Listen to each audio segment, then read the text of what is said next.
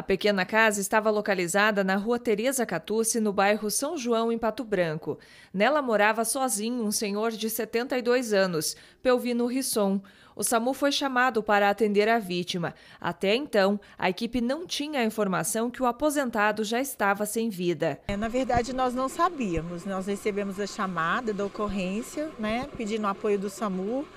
É, infelizmente, na nossa chegada, ainda não havia o corpo de bombeiros. A casa já estava né, completamente incinerada e já havia presença do corpo carbonizado. Como que se faz agora, então, o procedimento de vocês quanto a isso? É, na verdade o SAMU não tem como fazer esse atendimento, uma vítima carbonizada, né? Foi acionado o IML, que vai vir e fazer o resto das, das contingências agora.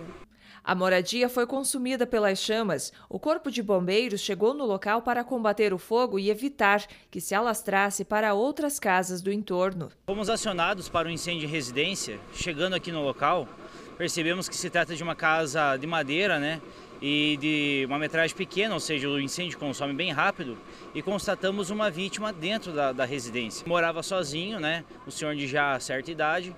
É, encontramos ele na cozinha. Então suspeita-se que tenha a ver alguma coisa ali, talvez é, manuseio do fogão, alguma coisa assim, mas não dá para precisar qual foi o, o, o, início do incêndio. Um dos vizinhos contou o que viu desde que percebeu o incêndio na moradia na manhã desse domingo, 1 de outubro. Na verdade, nós para chegar, acordemos ali, já estava fogo na, no, na casa, né? Tentemos apagar, mas não. E bombeiro demora até chegar aqui.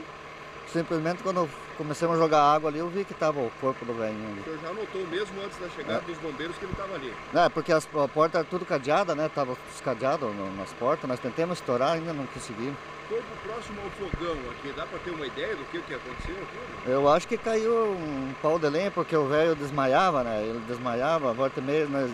vizinha aqui, minha comadre também achava ele desmaiado ali, né? Tinha problema de coração, na marca passo e coisa errada assim, né? Sim. Eu acho que desmaiou e simplesmente pegou fogo na casa.